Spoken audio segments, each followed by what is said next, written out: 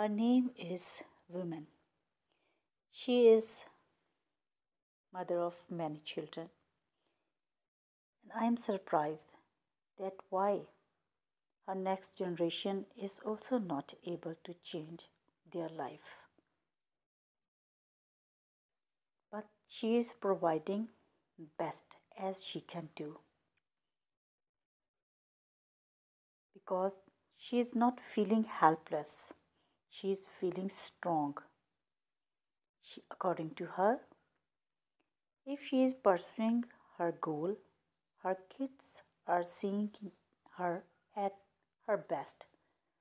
She is filled up, she is very happy, and she is not feeling empty because she is providing to her best.